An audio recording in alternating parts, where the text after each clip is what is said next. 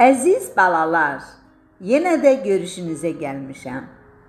Ümidvaram ki, sizlər üçün söylədiyim nağıl və hekayələr xoşunuza gələcək.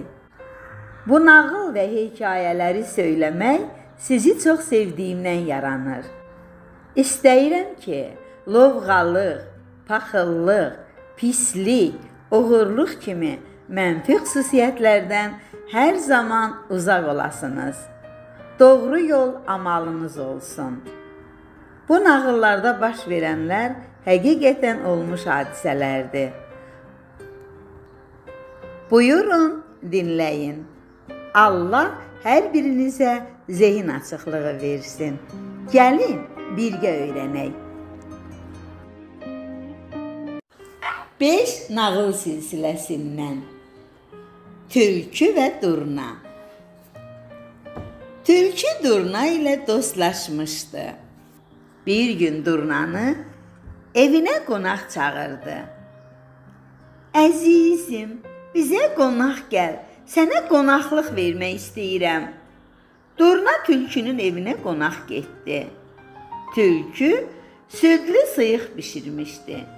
Onu düz boşqaba yayıb Durnanın qabağına qoydu. Əzizim, nuş olsun, ye. Özü isə öz boşqabındakı yeməyi dili ilə yalamağa başladı. Durna dimdiyini boşqaba nə qədər döyəclədisə də, heç nə yeyə bilmədi. Tülkü isə bütün sıyığı özü yedi və doydu. Doyandan sonra Durnaya dedi: "Zəhmət çəkmə əzizim, dimdikləməyə heç nə qalmadı. Çox sağ ol dostum. Sabahda sən bizə qonaq gələrsən. Səhəri gün tülkü Durnanın evinə qonaq getdi.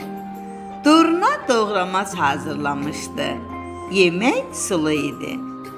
Durna doğramacı uzunbağa kuzəyə tökdü. Stolun üstünə qoyub dedi: "Qonaq ol əzizim." Bundan başqa qabım yoxdur.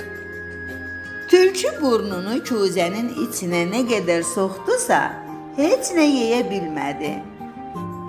Yeməyin ancaq qoxusunu ala bildi. Durna isə öz uzun dimdiyi ilə kuzədəki bütün doğramacı yedi. O doyandan sonra tülküyə dedi: "Qəmlənmə əzizim. Daha səni qonaq etməyə heç nəyim yoxdur. Tülkü incimiş halda öz evinə yollandı. Bundan sonra onlar daha dostluq etmədilər.